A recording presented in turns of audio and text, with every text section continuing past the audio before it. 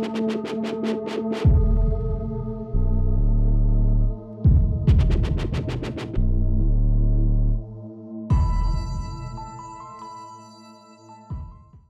this is Brien Foerster with a relatively short synopsis of our recent adventures in Egypt from April 2019 that will appear in many upcoming videos on my YouTube channel. This is the so-called village of the workers that academics believe constructed the Great Pyramid, but there's no actual evidence of that. We then explored inside the tombs of the nobles at Aswan, which are a megalithic series of constructions inside the bedrock. This is what the exterior of the tombs of the nobles looked like. And here once again, there are lots of dynastic constructions, but also clear evidence of older megalithic work. And this is what the tombs of the nobles look like from the Nile River. Not many people visit the tombs of the nobles, but it is very much worthwhile. We also went to Kom Ombo, which is a small, relatively small, dynastic construction right next to the Nile. And this is what Kom Ombo looks like when you approach it.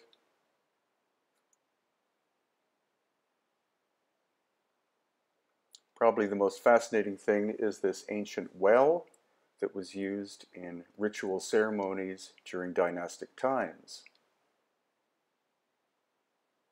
We also went to Edfu, which again is of dynastic period, massive columns of sandstone. and some rather strange depictions, as you can see here. This is one of the pharaohs defeating a foreign army. We also went into the Valley of the Kings. And now you're allowed to both photograph and film inside the Valley of the Kings, which was absolutely amazing, including the optional visit to the tomb of Tutankhamun.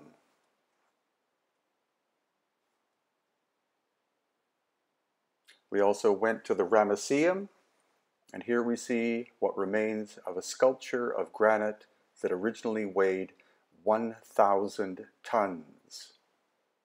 This is clearly pre-dynastic in nature due to the scale of the sculpture and the fact that it had to have been made using lost ancient high technology. As well, the Colossi of Memnon. This one on the left, the base is at least 300 tons, and the sculpture itself 720 tons of one piece of stone. And Luxor, where this magnificent pre-dynastic obelisk is located, as well as massive seated figures, again made of one piece of stone. We also explored the highway in the desert in order to see this, the astonishing Osirion at Abydos.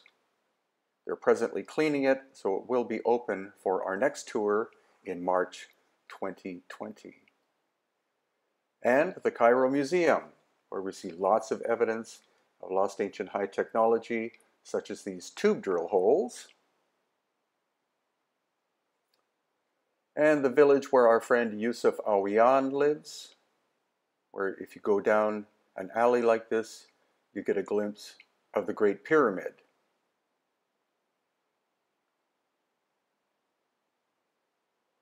And of course, we go to the Giza Plateau and spend plenty of time there. This is the approach to the Giza Plateau.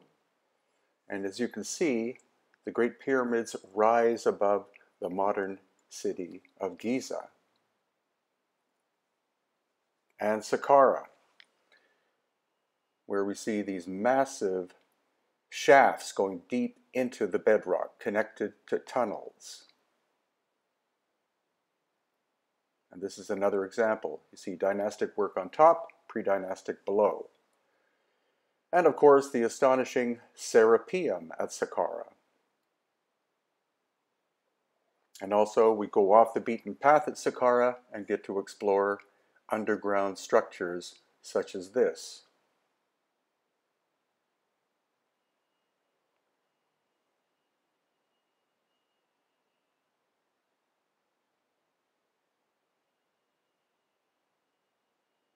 And here, this is Dashur, where we explore the Bent Pyramid, destroyed by an ancient series of cataclysms.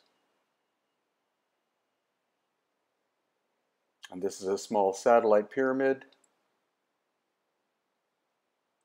And here you see the Bent Pyramid, as well as the Red Pyramid, and we get to go inside this one.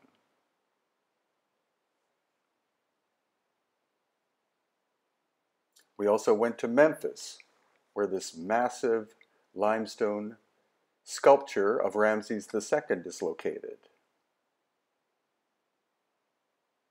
Because it's made of limestone, it's most likely a dynastic construction, whereas the pre-dynastic works tend to be in much harder stone, such as granite and basalt. But there's also this incredible sphinx made out of travertine, and of course, the Great Pyramid.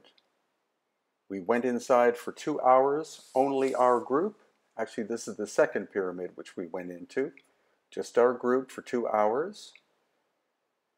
We also get to and got to explore the interior of the Great Pyramid for two hours. There, of course, is the Sphinx in the background.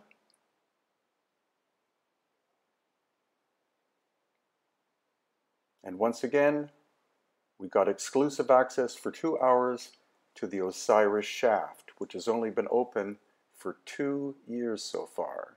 That takes special permission. The general public cannot enter unless they pay the fee, which we did.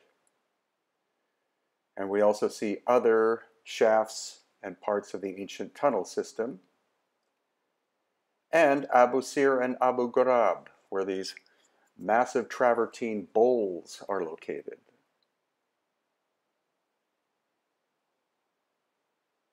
including this huge Hotep, made once again of travertine and has lots of ancient machine marks that we inspected and will inspect in the future. So that's March 2020 at hiddenincatours.com, and these are other upcoming events. I will be at Contact in the Desert in Indian Wells, California, May 31st to June 3rd, 2019.